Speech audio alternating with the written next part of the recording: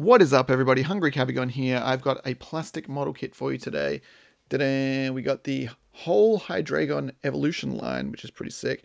And also it says we get a little Pikachu in here. So it costs 668 yen, which is very cheap.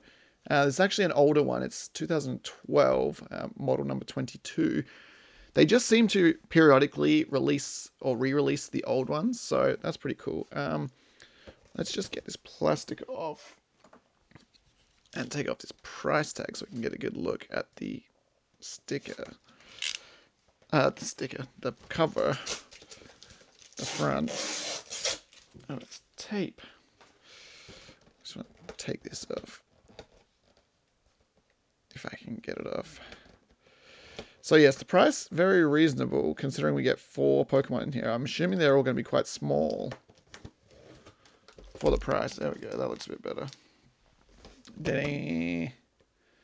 So yeah, let's have a look at the pieces and we'll get it together and then um, see how it looks.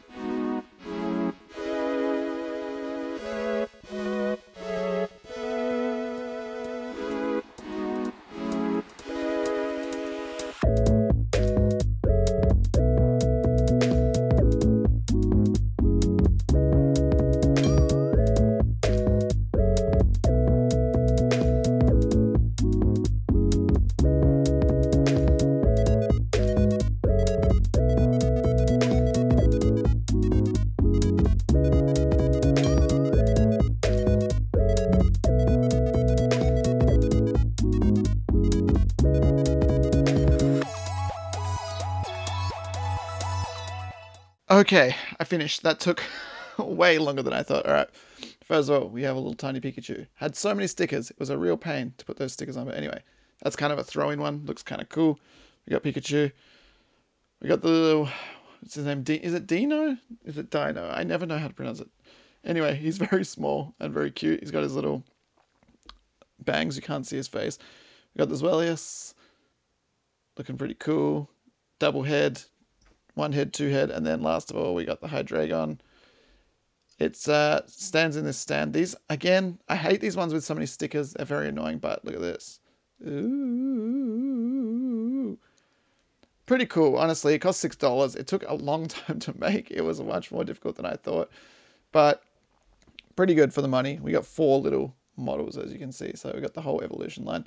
Anyway, let me know what you think, guys. Check out the channel for more videos. Please leave a like, comment, and subscribe. And we'll see you in the next one. Take it easy. Blah.